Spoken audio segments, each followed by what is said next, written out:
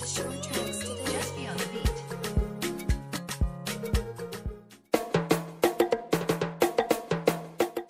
c'est notre jeune frère, et notre, ami et puis notre capitaine de l'équipe nationale.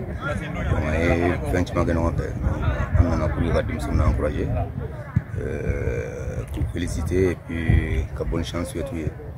Il a un bon groupe et puis je pense qu'on peut faire quelque chose. Inch'Allah. Moi même le rapport parce que vraiment à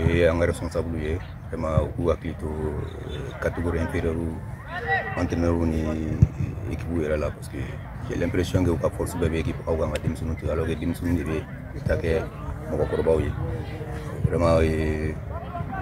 kala mo ko condition c'est pas ce n'est pas vraiment bien on là parce que je peux mais ba bio là on est en train de, voir comment c'est qu'il y a au pouvoir niveau là vraiment hein? Bien vrai qu'il avait mal au don mais chef de famille la calo que les calons place en clé était voir vraiment c'est c'est très compliqué. C'est très compliqué vraiment. Vraiment pour le gars